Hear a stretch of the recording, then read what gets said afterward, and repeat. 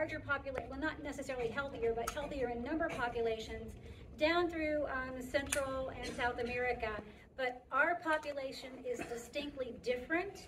And so if we lose this population, it would just be devastating. So Dr. Ken Meyer of the Avian Research and Conservation Institute has been studying these birds for 22 years.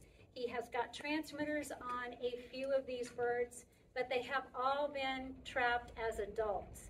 They are very secretive nesters.